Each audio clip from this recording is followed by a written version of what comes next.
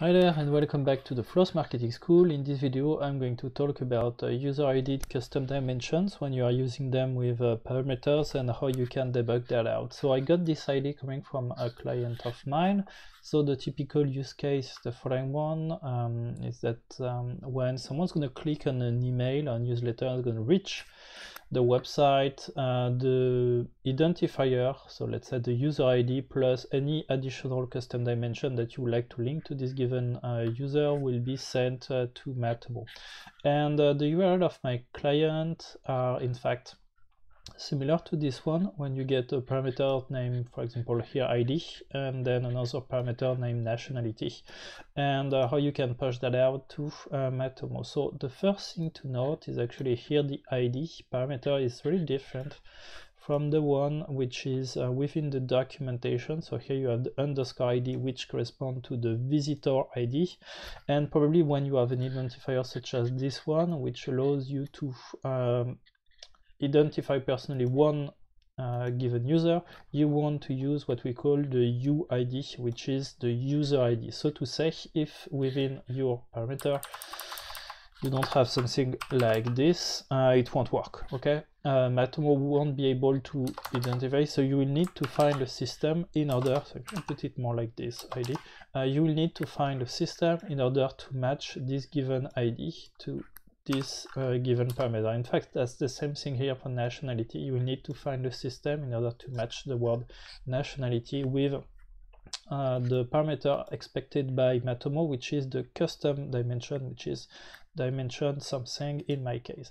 Okay, so uh, let's uh, get started. So I have my website. On my website, I have the tag manager, which is installed. I have nothing in my tag manager yet. Uh, so that's what I'm going to do right now. So I'm going to add my, uh, my simple Matomo tag.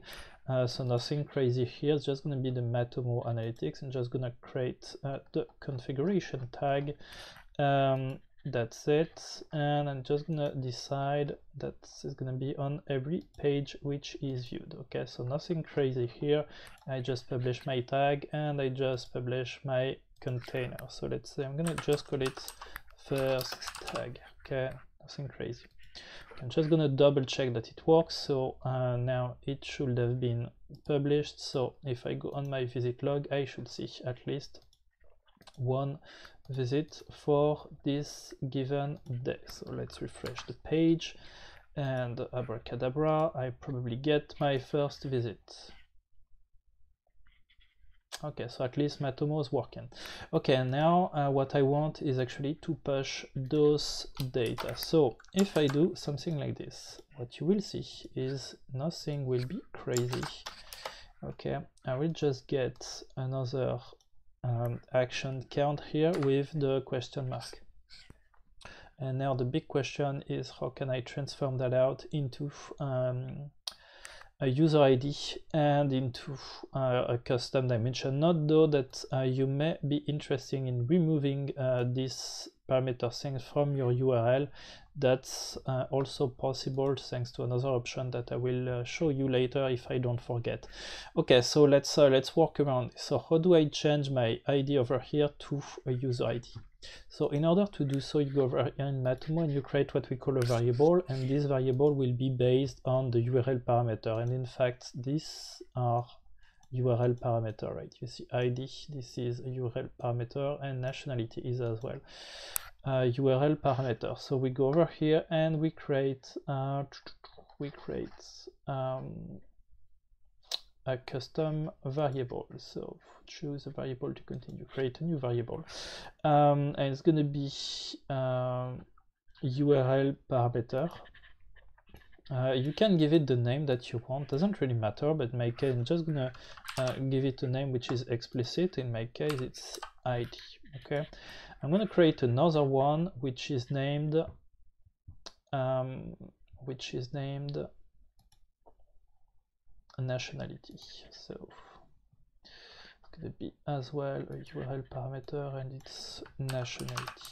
Nationality. It has to be, oops, for this one, this one has to be exactly the same, oops, the same as the one that you take over here, right?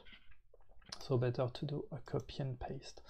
Okay, so now I'm having my two um, URL parameter.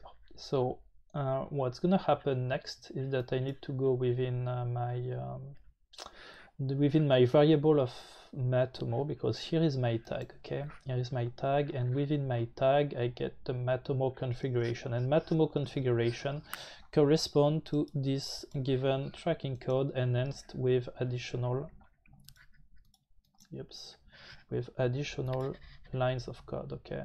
So when you play with the configuration variable in Matomo tag manager it's like you are enhancing this tracking code with additional lines such as the one that you can see here which are uh, appearing okay? This is what you are doing when you go over here and that you modify this given file name Matomo configuration. So that's what I'm gonna do right now. I'm just gonna modify the Matomo configuration which correspond to the one that you can see over here uh, so as well here nothing crazy it's just that you need to have the user ID because this is most of the time where you are uh, sending the information to. So in my case, I'm gonna pick up the ID over here. And uh, regarding the custom dimension here, you need of course to have the custom dimensions on. So in my case, I need to go over here and I need to activate the custom dimension. So here I have the choice to choose either at the action level or at the visit level. In my case, uh, the nationality of a given individual is not going to change uh, every page that uh, she or he is going to look at. So it's of course based on the visit. So uh, here I can call it as I want. That will be the name of my report. I just call it nationality in my case and the ID is number two. So I can go back uh, over here and can say index number two and then I can go over here and say that's gonna be the nationality parameter that I want to have. Okay, uh, so here we are all good uh, and set. It's just that I have one concern. Uh, the point is that here, as you can see, the tag is configured in order uh, to be loaded every time that a new page is viewed. So I guess that the best uh, way uh, to, let's say, to handle it is really to say page view with, let's say, ID and nationality parameter. If not, if you have some other parameters within your URL at some point within your website, what's gonna happen is um, that you will have the user ID which will be biased and as well uh, you will get other issues. So that's why I'm gonna, just gonna say and if you get uh, page URL which contain um, the parameter ID at least the word ID or the word nationality then apply this given tag if not don't do it and of course uh, if I had the general Matomo tracking code on my website, I would like to have the opposite as a trigger, which say, okay, do not match, um, when it does not match this given condition, please um, do not fire it. Okay, so we are all good. I'm not 100% sure about this one, but let, us see how it goes.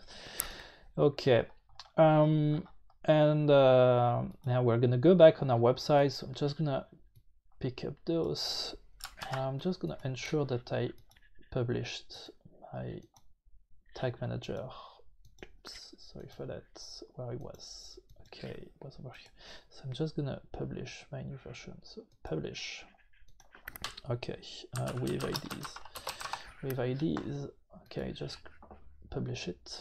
And uh, let's go for it. Oops. So I'm just gonna start it back. Um, so now I could have used the preview and debug mode in order to ensure that it's working, but I'm I don't know why, but I'm pretty confident it's gonna work. Um, so visit log and okay, so I get Renan, I get the nationality French, so I'm happy. Okay, that's uh, that's that's good. Um, so if I visit another page, uh, nothing should happen. So I'm gonna visit this given page. I don't have a parameter again. Um, so nothing should be recorded. Wow, okay, that's great, it works. Um, so this is where you need to, let's say, define what you really want. So for example, here I could add another uh, another Matomo analytics tag. mm -mm, like this um, and I can define the opposite the opposite which is uh, when it does not contain uh, where it is where it does not contain does not match the regular expression which is ID or nationality. This what I'm doing is just a security um, without ID and nationality but I even think that actually you could just trigger it uh, without this uh, given condition just because there are few chances that you will have additional parameter on your website okay new version. Oops and uh, so normally what should happen now and this is where the debug mode can be quite handy. Da, da, da. yep like this because now if I load this given page what I should see is that I get no tags fired for this condition but I get this one which is fired. So now I get exactly what I wanted. The full path of my given uh, visitor even if it's oops even if it's accessing back to this given URL okay.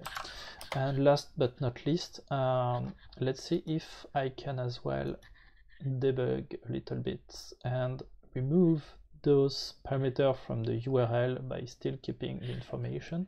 So in order to do so you need to click over here. Yeah it's um, it's a measurable I think. So it's a manage and here I need to um, say okay exclude parameters and here you can enter the list of URL query parameter one per line to exclude from the page URL report. Oh okay one per line.